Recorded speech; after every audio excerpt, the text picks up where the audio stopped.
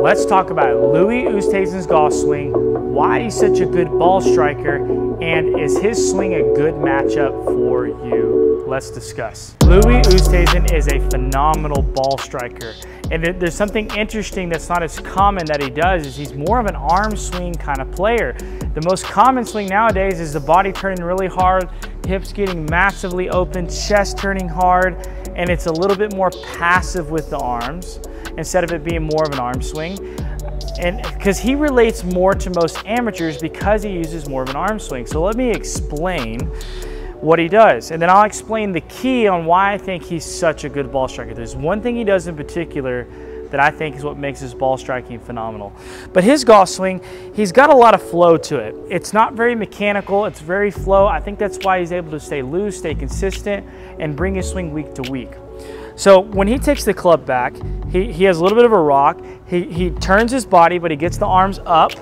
So he's more of getting the arms up here instead of way behind them because if you get the arms more behind you, it's gonna encourage you to have to use more body turn.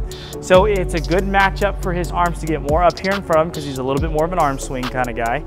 And then from the downswing, he doesn't out, his lower body and his upper body doesn't outrace his hands. He's very, very connected. So when he takes the club back, when he comes back down, his arms are very much in front of him. A lot of times with, with these traditional swings now, or I say traditional, but these most common swings now where it's a lot of lower body turn, a lot of upper body turn, the club doesn't necessarily get behind them, but man, they are torquing that body open. The club looks more like this, and then it comes into impact, but his arms stay in front of him. So if you're not a guy with a lot of mobility and you use a lot more of your arms, this swing's a pretty good matchup for you because he takes the club out, gets the arms up, gets the arms back out in front of his chest.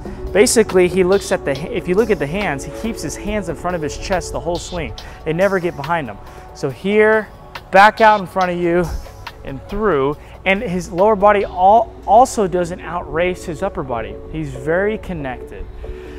Now the one key, let me make a couple swings. I'll, I'll try to mimic his swing to the best of my ability. Obviously, I'm not Louis Oosthuizen, so I don't have his swing, but I have more of a body turn swing, but he picks the club up like this, and he finishes a little bit higher when he comes through. Instead of finishing low and below the left shoulder, which is most common for players that have lots of body rotation, you'll see the club exit really low down here. But he's more of an arm swing guy, so his arm, his hands exit a little bit, or the club exits a little bit higher up there. So now here's what I think makes him such a good player. He releases the face square every single time. It's not a flippy release. He releases the face matching his spine. So if you look at the angle right here, he matches the spine when he comes through. But it, it's, it's up high. Most players are, are a little bit lower down here.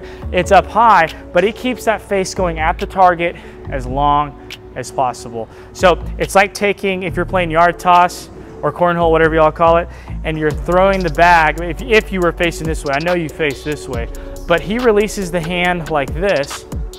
He doesn't roll the hand.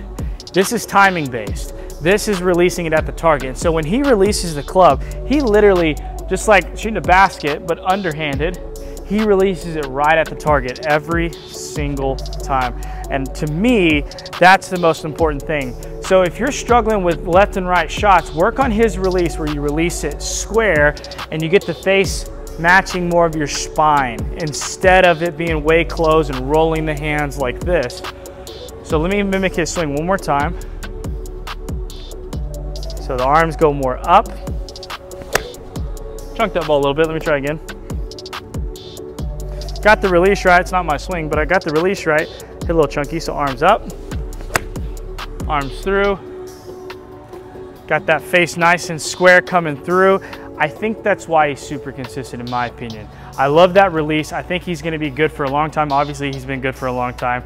I think that might be a good matchup for you if you're more of an arm swing player, is instead of rolling the arms like this and getting it over, release the face more, matching your spine and at the target. Give that a shot. I hope you enjoyed me talking about Louis Oosthuizen's golf swing, why he's so consistent. If you want more of those, please drop a comment.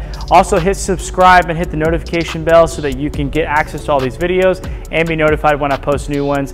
Besides that, guys, I hope you enjoyed that. See you later.